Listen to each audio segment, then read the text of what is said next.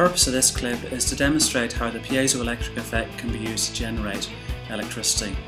In the circuit we can see the piezo connected to a full wave rectification circuit, the kind that's usually used in converting AC that's alternating current into DC.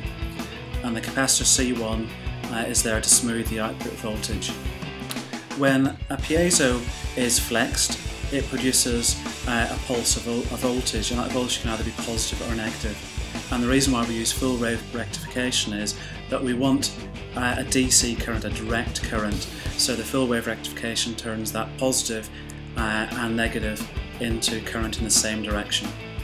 Now this uh, shot you can see just about make out that the, the piezo being tapped and you can see the LED getting brighter uh, as the capacitor charges up fills with energy and as it stops being tapped then it discharges and the harder you tap it the, the, the brighter it gets because the higher voltage will be produced.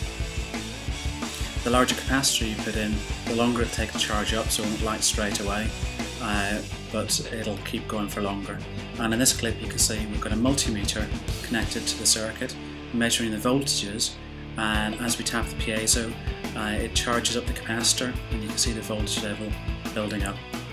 So that's how you can use uh, the piezoelectric effect to generate a useful DC current.